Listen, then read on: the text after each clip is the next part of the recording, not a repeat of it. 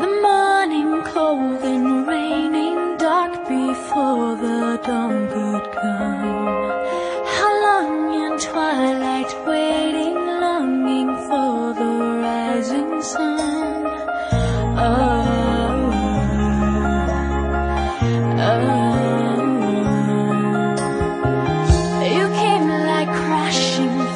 Thunder breaking through these walls of stone. You came with wide-eyed wonder into all this gray